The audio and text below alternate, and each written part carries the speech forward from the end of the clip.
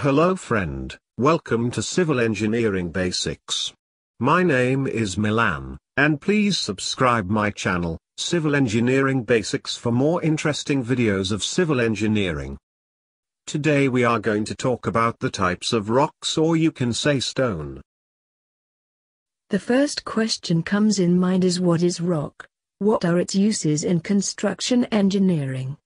Stone or rock is a naturally available building material, which has been used from the early age of civilization to construct a shelter. It is available in the form of rocks, which is cut to required size and shape and used as building block. It has been used to construct small residential buildings to large palaces and temples all over the world. Red Fort, Taj Mahal, and several palaces all over India are the famous stone buildings. Now let's discuss about types of rocks or stone. Stones used for civil engineering works may be classified mainly in the following three category.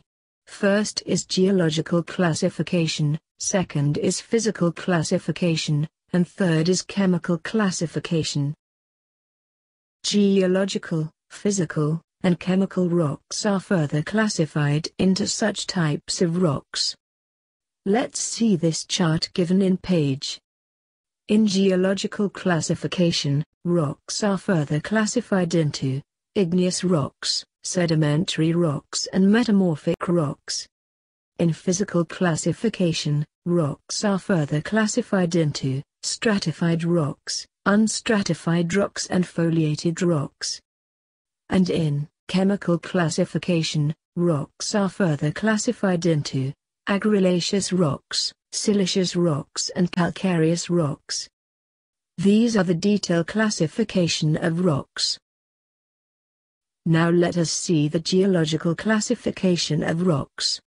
Before that see that the cycle given below is called the rock cycle, by which you can easily understand the types of geological rocks. The rock cycle is continuous process through which old rocks are transformed into new ones. Rocks can be divided into three main groups, igneous, sedimentary, and metamorphic.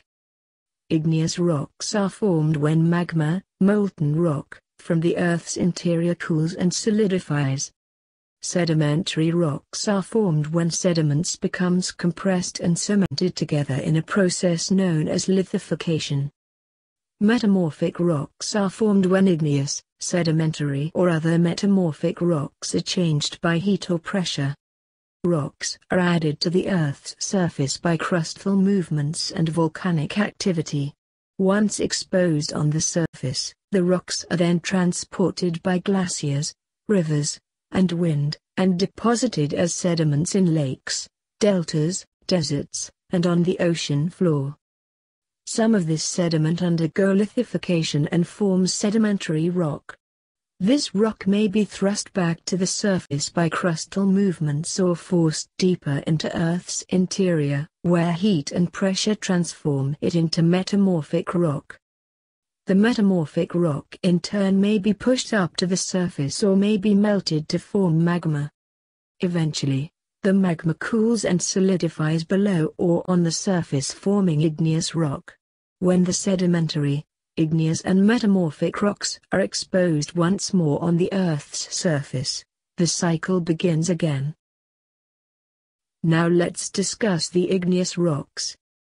Igneous rocks are formed by cooling and solidifying of the rock masses, from their molten magmatic condition of the material of the Earth. Generally igneous rocks are strong and durable. Granite, trap and basalt, are the rocks belonging to this category. Granite is formed by slow cooling of the lava under thick cover on the top. Hence they have crystalline surface.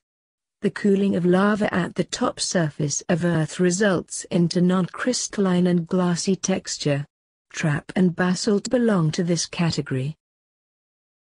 Now let's discuss the sedimentary rocks. Due to weathering action of water, wind and frost existing rocks disintegrates. The disintegrated material is carried by wind and water, the water being most powerful medium. Flowing water deposits its suspended materials at some points of obstacles to its flow. These deposited layers of materials get consolidated under pressure and by heat. Chemical agents also contribute to the cementing of the deposits. The rocks thus formed are more uniform, fine-grained and compact in their nature. They represent a bedded or stratified structure in general.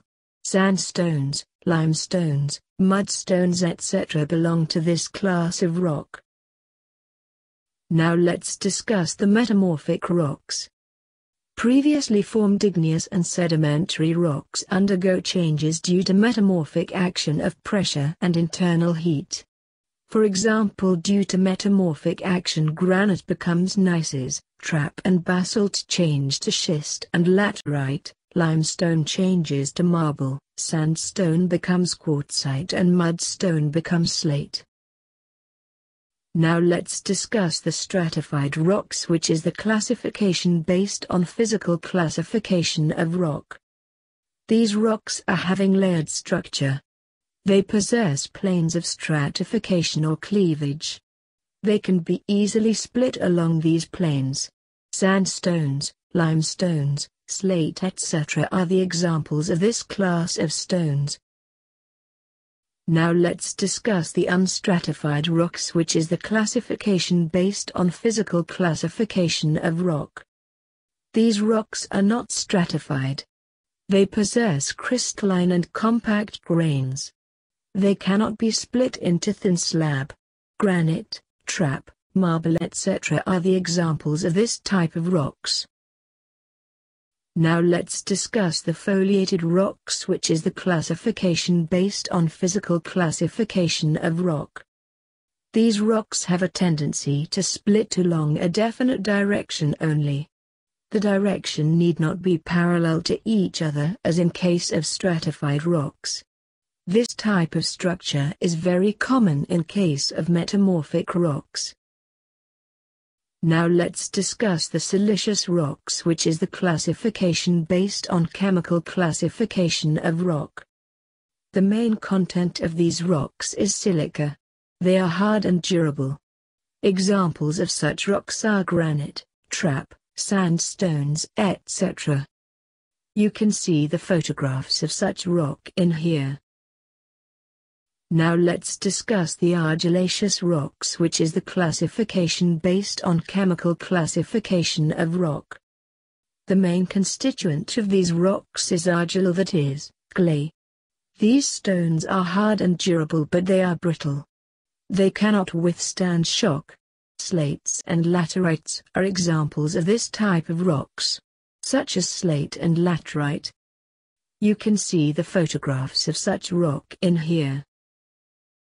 Now let's discuss the calcareous rocks which is the classification based on chemical classification of rock. The main constituent of these rocks is calcium carbonate.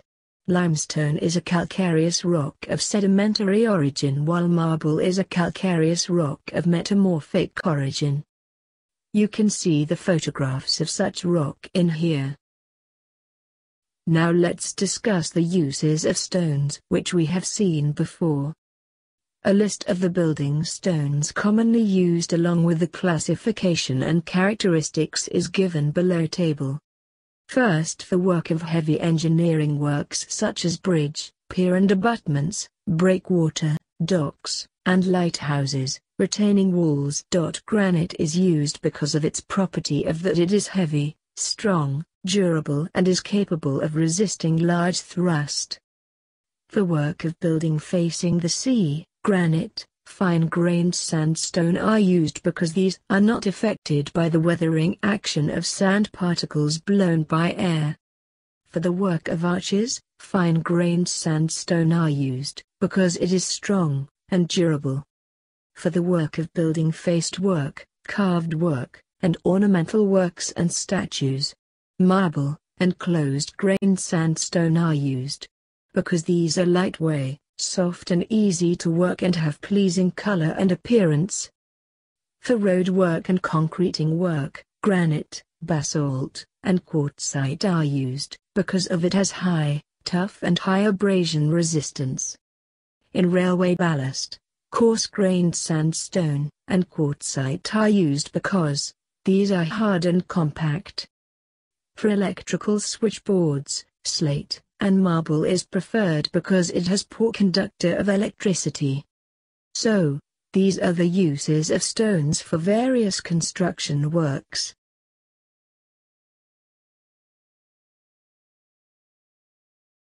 Thank you so much for viewing this video. For more video on civil engineering subscribe my channel. Civil Engineering Basics